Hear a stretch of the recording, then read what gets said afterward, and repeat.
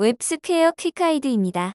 gridView column의 imageAlign 속성으로 아이콘 이미지 표시 위치를 설정하는 방법에 대해 알아보겠습니다.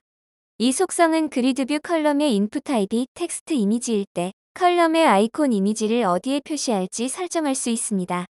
사용 방법입니다. gridView column의 inputType이 textImage일 때 imageAlign 속성 값을 right나 left로 설정하십시오.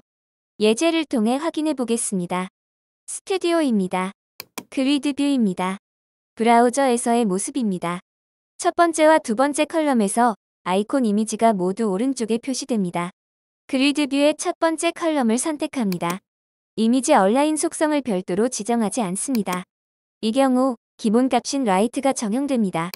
gridView의 두 번째 column을 선택합니다. imageAlign 속성을 left로 설정하십시오.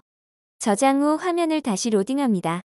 첫 번째 column의 아이콘 이미지는 오른쪽에 표시되고 두 번째 column은 왼쪽에 표시되는 것을 확인할 수 있습니다. 웹스퀘어 quick guide를 시청해주셔서 감사합니다.